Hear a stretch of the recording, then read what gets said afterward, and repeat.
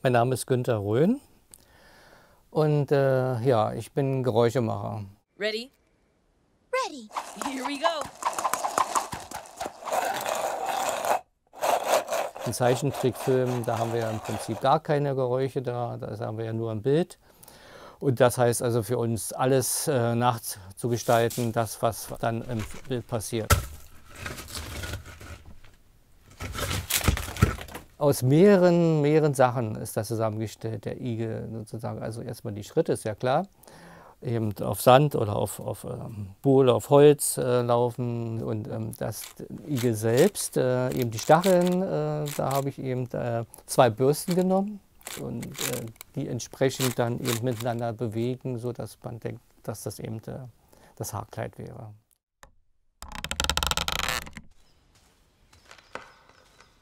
Someone there?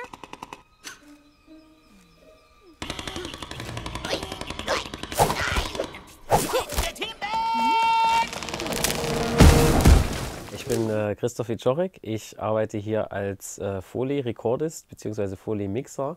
Das ist derjenige, der die Geräusche aufnimmt, also die, die der Günther da drüben macht, äh, hier ähm, vormischt, aufnimmt und ähnlich wie beim Geräuschemacher ist es halt so, dass man sich Sachen ausdenken muss, die halt noch nicht existieren und die so abstrahieren, die Geräusche, dass, ähm, dass derjenige, der das dann sieht, das dazu verbindet und sagt, ja, das ist definitiv das Geräusch.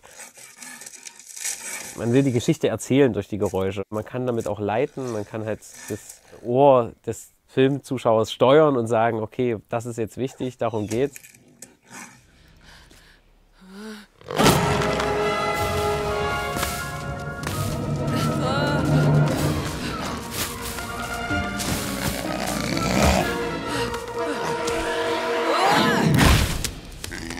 Ich bin Re-Recording-Mixer oder Mischtonmeister, wie man sagt. Bei mir läuft alles zusammen, was Sound heißt. Die Filmmusik, bei mir läuft gesamtes Sounddesign, alle Sprachen.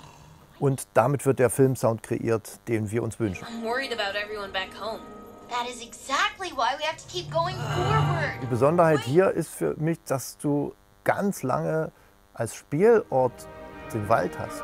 Jeder, der Wald kennt und mal probiert hat, im Wald laut zu rufen oder in die Hände zu klatschen, der Wald hat ja einen Waldhall, ein Waldecho und der Wald ändert sich. Sobald irgendwie die Bäume dichter stehen, ist die Reflexion anders oder es kommt ein Hügel. Und das interessant zu gestalten, das fand ich bei Latibus sehr reizvoll.